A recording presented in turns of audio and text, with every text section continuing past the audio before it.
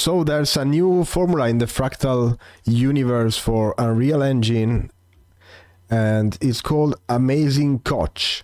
So Amazing Koch is part of Mecha, the latest update actually, and you will find a new map, example map, which is this one I'm exploring now. You can get the camera here. And also you will get the blueprint so you can just drag and drop um, the fractal blueprint in, into your level and I want to show a bit how this formula behave because it it may look complex at first. First off, it's a hybrid formula, hybrid hybrid fractal. So there's two components, uh, the Mandelbox and the Menger Koch. This is the first fractal and here the second one.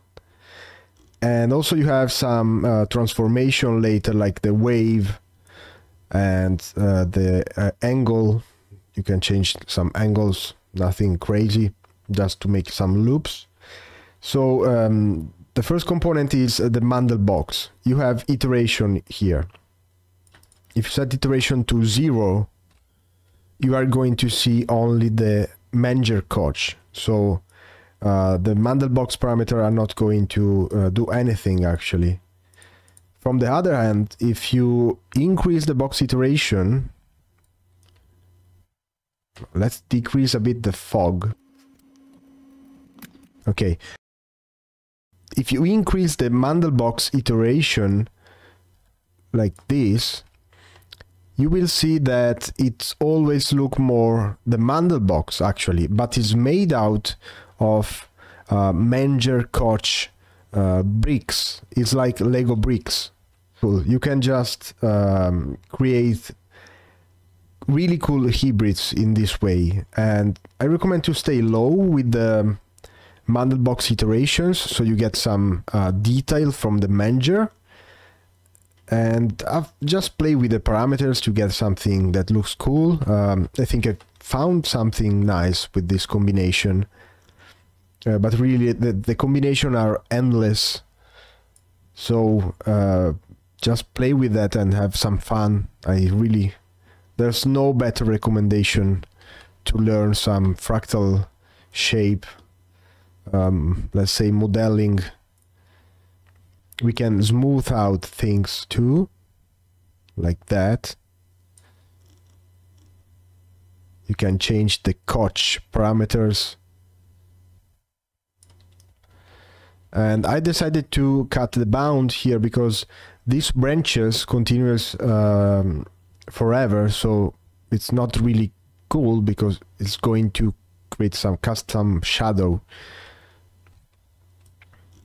then there's also Julia mode uh, which can work really well create some strange strange formations like here that's nice, actually. Sometimes it's glitching out a bit, so like here. Uh, that's just a pre precision uh, parameter here. Where is that? The step factor, so you can decrease that. It's going to be a bit slower, but it's going to be precise. So here you can see the effect of the wave Let's play with that too.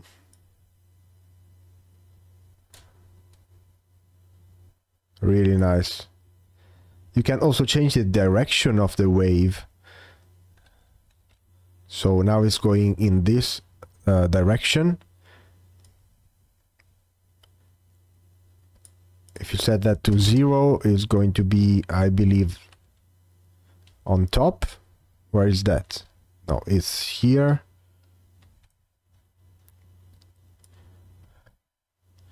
and I bet 3 will be on top. Yep.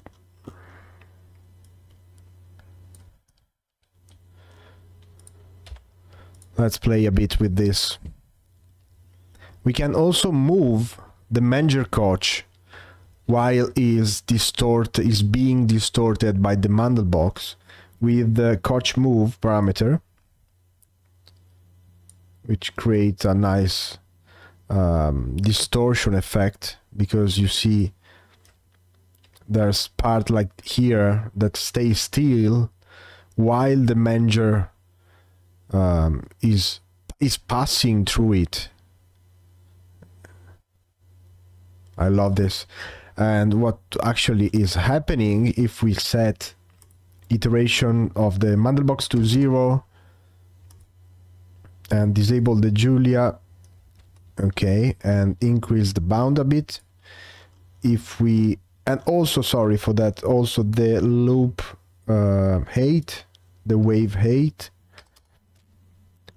you will see that when you change the Koch uh, move parameter is just sliding around. Nothing happens.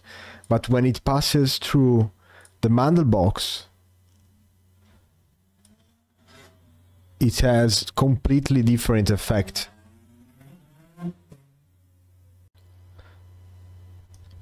I hope this makes sense.